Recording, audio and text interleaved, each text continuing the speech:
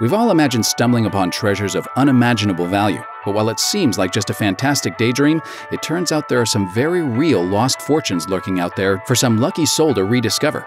Here's a look at some very real hidden treasures still waiting to be found.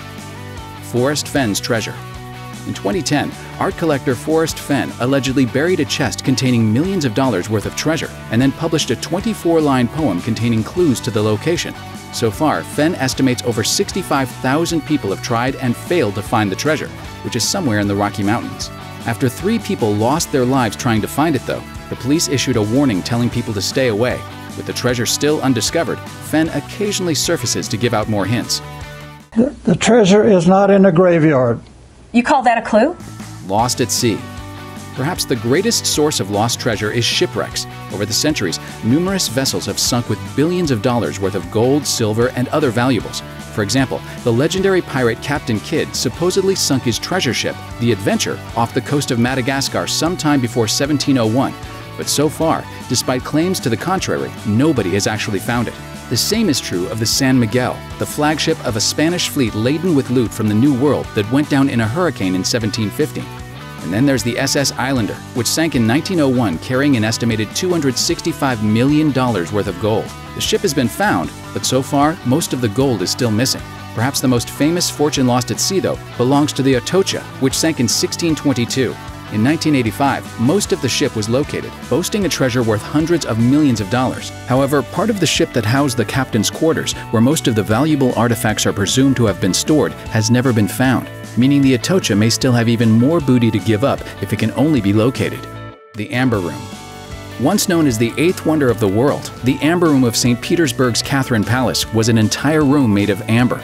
During World War II, though, the Nazis dismantled it, packed it into 27 crates, and sent it somewhere. So far, nobody knows exactly what happened to it, though one panel from the room actually surfaced in Germany in 1997 and was used to help create a full scale reproduction. But was the rest of the original room destroyed during the war? Or is it still out there somewhere waiting to be found? Only time will tell. The Irish Crown Jewels. Back in 1907, the Irish Crown Jewels were kept inside a safe in the library of the Bedford Tower of Dublin Castle, and then one day, they weren't. On the morning of July 6th, it was discovered that the keys to the library were missing, and after an investigation, it turned out the crown jewels had vanished as well.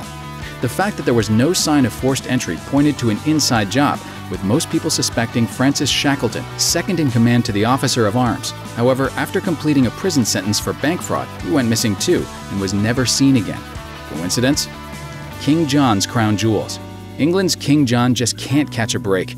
He's immortalized as the king that gave away the power of the monarchy when he signed the Magna Carta, and he's the bad guy in every Robin Hood movie ever made. He also managed to lose not just the country's crown jewels, but a massive amount of treasure too. Exactly what happened is a mystery, but sometime around 1216, it seems King John and his retinue were transporting a treasure that included the crown jewels when they were caught in a flooded swamp near Long Sutton. The crown jewels and the rest of the treasure was swept away to a watery grave, and despite over eight centuries of searching, nobody has managed to find them yet. Treasure of John Dillinger. During the early 1930s, the American Midwest was gripped by the terror of public enemy number one. And your name? John. John Dillinger. All right, everybody, hold it right where you are. This is a robbery. Three weeks prior to his death, Dillinger and his gang of bank robbers were nearly caught by the FBI near the Bohemia Roadhouse outside of Mercer, Wisconsin. According to a legend published in a sensational 1950s adventure book, just before the chapter on the G string buccaneer, there's buried treasure in those hills. Escaping through the woods after a shootout, Dillinger stopped and supposedly buried a suitcase containing $200,000. He got plastic surgery and planned to retrieve the money and flee to South America, but he was gunned down before he could pull off his big escape. Presumably, it's still out there somewhere waiting to be dug up. Maybe. Thanks for watching. Click the grunge icon to subscribe to our YouTube channel. Plus, check out all this cool stuff we know you'll love too.